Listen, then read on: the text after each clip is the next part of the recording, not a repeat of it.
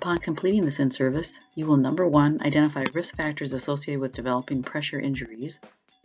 Number two, list nutrition interventions for prevention and treatment. And number three, understand the role of nutrition in wound healing. Pressure injuries can be a common problem in long-term care. Identifying the risk factors associated with developing pressure injuries can aid with minimizing pressure injuries from occurring.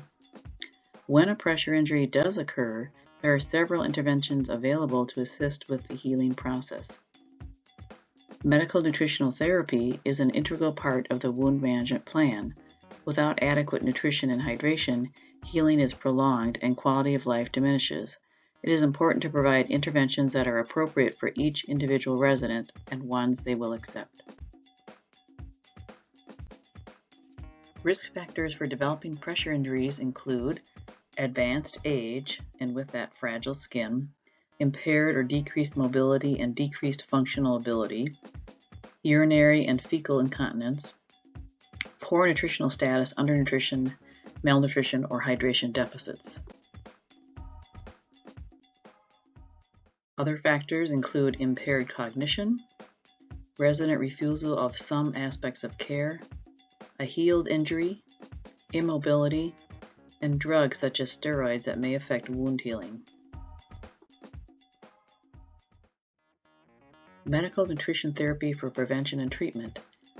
As far as energy intake, provide individual energy intake based on underlying medical condition provide 30 to 35 kilocalories per kilogram body weight for adults at risk of a pressure injury who are assessed as being at risk of malnutrition.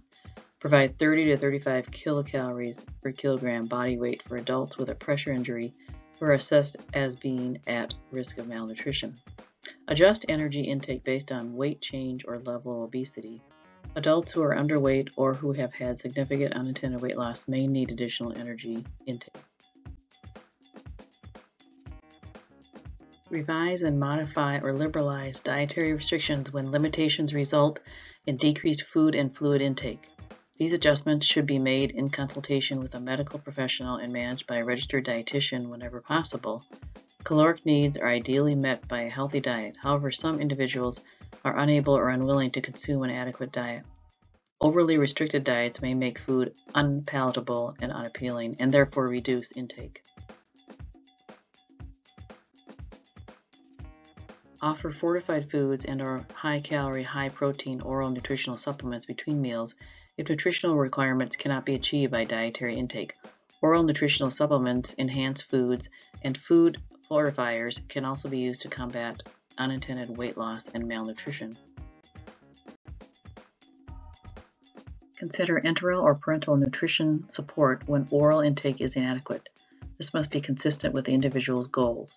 If oral intake is inadequate, enteral or parenteral nutrition may be recommended if consistent with the individual's wishes.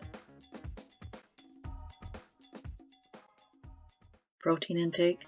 Provide adequate protein for positive nitrogen balance for adults assessed to be at risk of a pressure injury or who already have a pressure injury. Offer 1.25 to 1.5 grams of protein per kilogram body weight daily for adults at risk of pressure injury who are assessed to be at risk of malnutrition when compatible with goals of care Reassess as condition changes.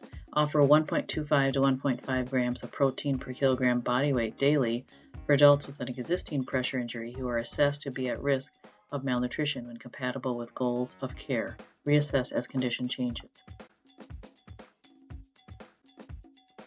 Offer high calorie, high protein nutritional supplements in addition to the usual diet to adults with nutritional risk and pressure injury risk if nutritional requirements cannot be achieved by dietary intake assess their renal function to ensure that high levels of protein are appropriate for the individual.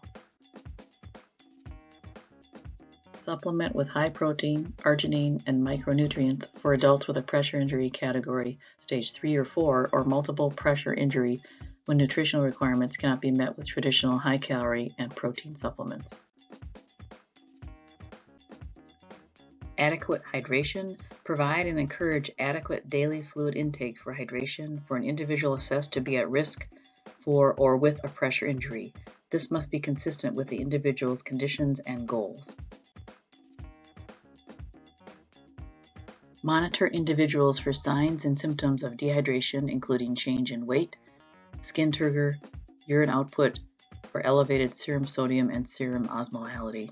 Provide additional fluid for individuals with dehydration, elevated temperature, vomiting, profuse sweating, diarrhea, or heavily draining wounds.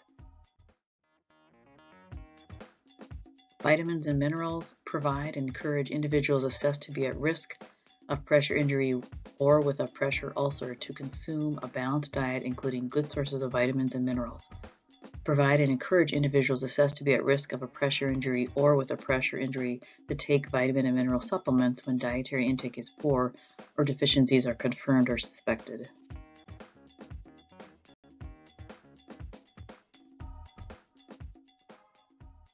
Test your knowledge on guidelines for pressure injury management. Question number one Which nutrient is most important to pressure injury healing? A. Protein, B. Carbohydrates, C. Fat, or D. None of the above?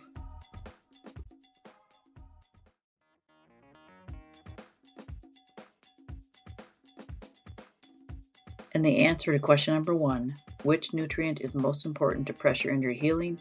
And that would be A. Protein.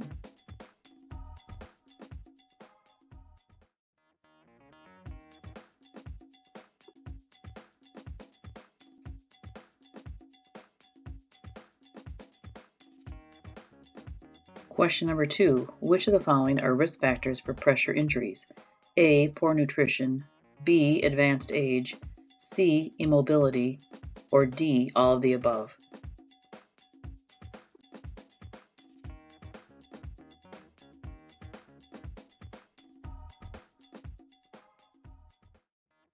And the answer to question number two Which of the following are risk factors for pressure injuries? And that would be D. All of the above.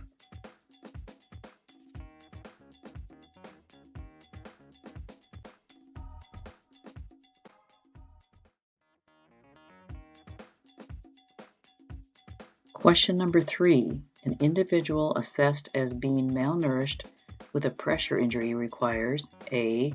20 to 25 kilocalories per kilogram, B. 40 to 45 kilocalories per kilogram, C. 30 to 35 kilocalories per kilogram, or D. 35 to 40 kilocalories per kilogram.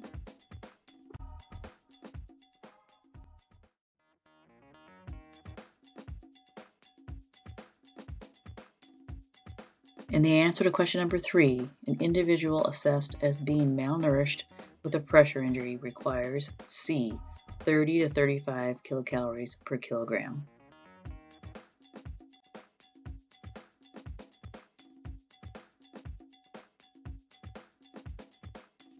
Question number four, true or false? A resident with pressure injury should have nutrition interventions that meet their individual needs.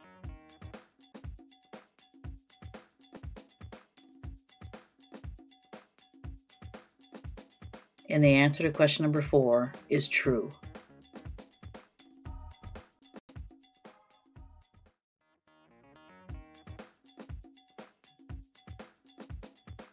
Question number five, true or false? Double portions of meat should be ordered for all residents with pressure injuries.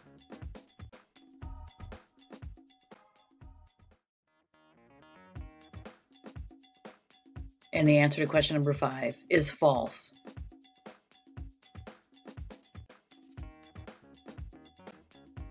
Thank you for your participation in today's program.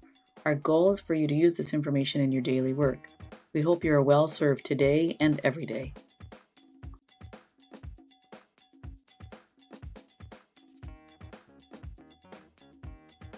If you would like more information about our in-service training programs or consulting dietitian services, please contact us at 1-800-761-9200 or nutritioncaresystems.com.